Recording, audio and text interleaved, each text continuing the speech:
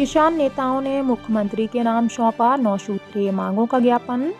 बड़ा मलहरा अनुभाग के घारा बस स्टैंड पर किसानों की समस्याओं को लेकर किसान संगठन ने आज बुधवार दो बजे सभा करते हुए प्रशासनिक अधिकारियों को नौ सूत्रीय मांगों का ज्ञापन मुख्यमंत्री के नाम सौंपा।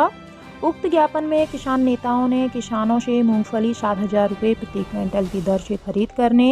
ग्वारा में पूर्ववत दो दिवसीय एसडीएम कोड संचालित किए जाने, किसानों को डीएपी यूरिया खाद समय से उपलब्ध कराने, कृषि हेतु पर्याप्त बिजली वोल्टेज सहित उपलब्ध कराने, क्षेत्र में घटित अपराधों का खुलासा, नगर खुआरा में सीसीटीवी कैमरे लगाने, अतिक्रमण हटाने व गौशाला निर्माण की मांग का उल्लेख करते हुए तहसीलदार शर्मा जी को ज्ञापन सौंपा गया। उक्त प्रदर्शन कार्यक्रम में किसान नेता दिलीप शर्मा, राष्ट्रीय संयोजक अमित भटनागर, किसान क्रांतिकारी व किसान नेता जगदीप सिंह, बिहारी प्रजापति, उत्तम यादव की अगुवाई में आयोजित किया गया, जिसमें क्षेत्र के सैकड़ों किसान शामिल रहे।